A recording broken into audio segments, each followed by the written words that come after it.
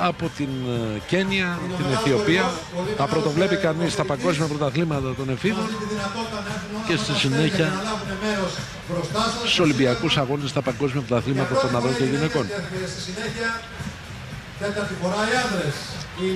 Ε, κοντά μας είναι η Νικόλ Κυριακοπούλου που μας λέει πολλές χρήσιμες πληροφορίες για αυτό το όμορφο αγώνισμα του άλματος επικοντό. Οι εντυπώσεις σου για αυτή την αθλήτρια, την Πεϊνάδο, Νικόλ. Έχουν, έχουν ακουστεί ότι κάποια στιγμή υπήρχε ένα βίντεο στο YouTube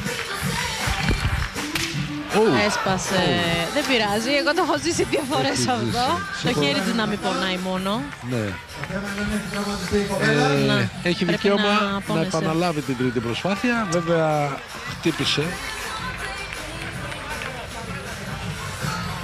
Δεν είναι τίποτα. Βλέπετε ότι αυτά συμβαίνουν πολλές φορές όταν ε, υπάρχει αρκετή ζέστη, τα κορδάρια υπερθεμένονται και... Είναι αν το βοηθήσεις από κάτω, δηλαδή αν η αθλήτρια επιδείξει από κάτω αρκετά και μπορείς να το βοηθήσεις, δεν θα συμβεί αυτό. Είναι πολύ λογική που μπορεί να συμβούν μέχρι και από το ταξίδι. Λοιπόν, εδώ Αν χτυπηθούν, είναι κορύφωση του λυγίσματος πάει το ναι. κοντάρι.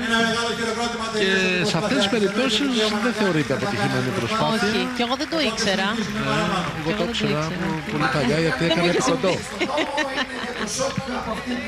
Μέσα στο 10. Δεν είναι τόσο εύκολο το λοιπόν.